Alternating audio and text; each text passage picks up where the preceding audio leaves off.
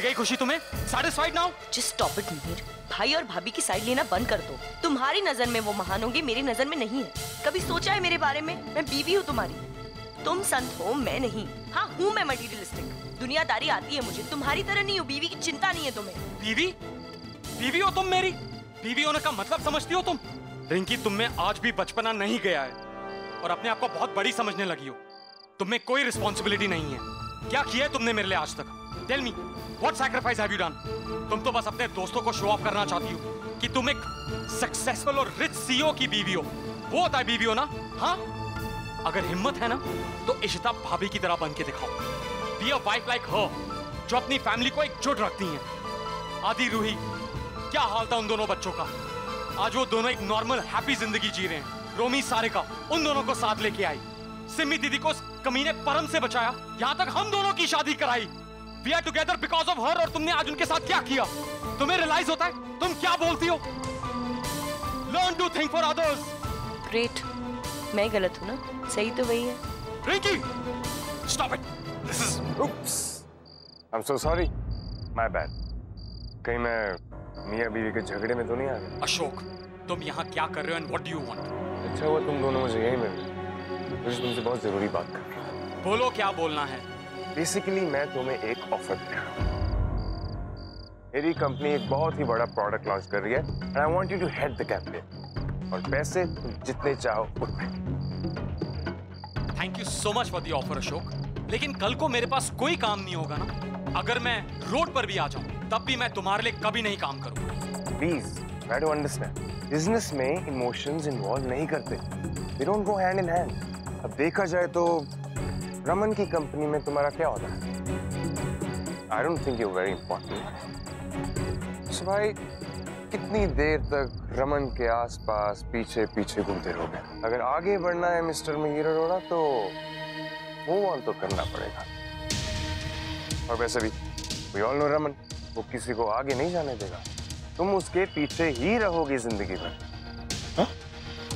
अशोक, लगता है आज तुमने कुछ ज़्यादा ही पी ली है। मैं दोबारा तुम्हें कह रहा हूँ I never work for you चलो। गॉड रिंकी। मेरी बात सुनो। मीर को समझाओ। मैं उसकी भलाई की बात कर रहा हूँ। देखो क्या होता है ना, जो मर्द होते हैं, वो अपनी ईगो पे ले लेते हैं बात। और जो लड़कियाँ होती हैं, औरतें होती हैं प्रैक्टिकल होती हैं। उन्हें पता होता है कि उन्हें ज़िंदगी से क्या चाहिए।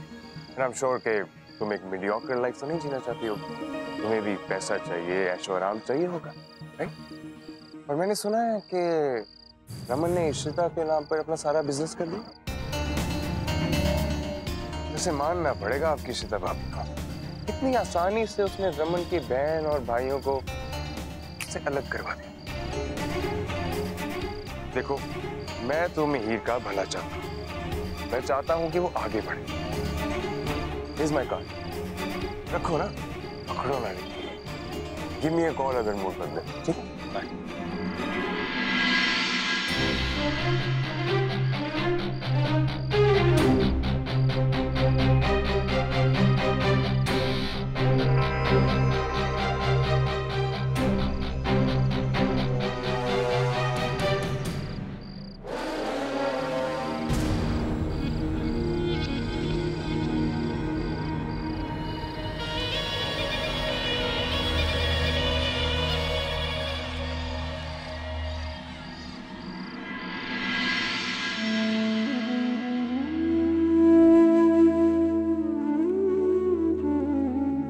सब सब क्या हो रहा है शिता?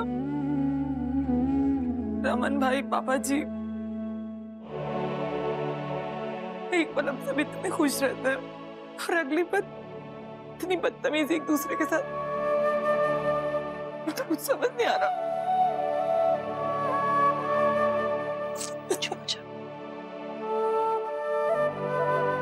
जो हुआ ना, वो सच में नहीं होना चाहिए था। नेवर एक्सपेक्टेड कि ऐसे ही लोग बिहेव कर सकते हैं दूसरे के साथ। शॉकिंग मम्मी जी नहीं है यहाँ से तुम और मैं है ना सिर्फ़, जिस पूरे मामले को हैंडल कर सकते हैं। बस, रो बताओ पता है सब गुस्से में हो गया। गुस्सा ना इंसान की ज़ुबान खराब कर देता है।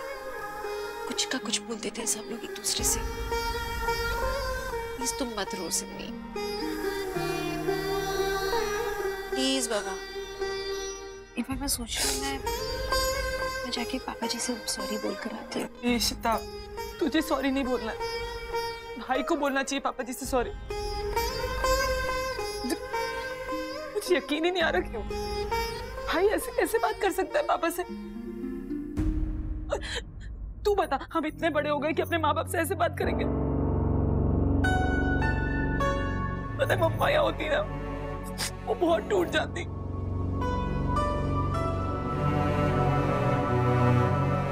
भाई हुरूर है पापा का। आज तोड़ दिया भाई ने वो हुरूर।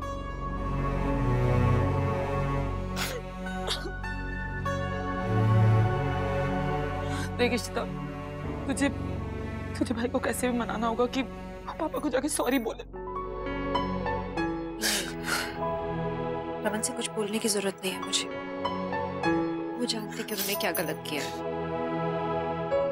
वो खुद वही करेंगे जो सही होगा। पता किसकी बुरी नज़र लग गई है इस घर को। Nice try Ashok thank you भाई आई एम वेरी पॉजिटिव कि कि बहुत ही जल्दी मैं अपना टारगेट भी अचीव कर लूँगा। और ये सारा गेम जीत लूँगा। मतलब वो रिंकी का रेस्पॉन्स आ गया? इतनी जल्दी? हमारे साथ होने को तैयार है वो?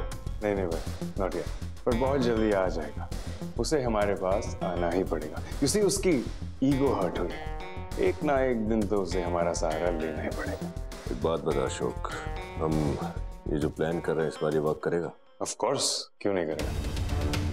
देख भाई अगर हम पचास खबरी भी रमन भल्ला के ऑफ़िस में तैनात कर देना तब भी उसे इतना नुकसान नहीं पहुंचेगा जितना इस एक लड़की से।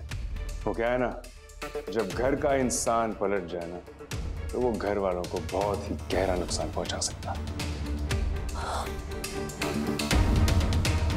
बहुत जल्दी सीख रहा था। सब तुझसे सीखा मैंने सूरज तुझे याद है जब तू मुझे छोड़कर चले गया था और मेरा सारा बिज़नेस भी ले गया था तब मैं बैंक करप्ट हो गया था। बस कुछ ऐसा ही करना है मुझे उस रमन भंडा के साथ। Wait and watch.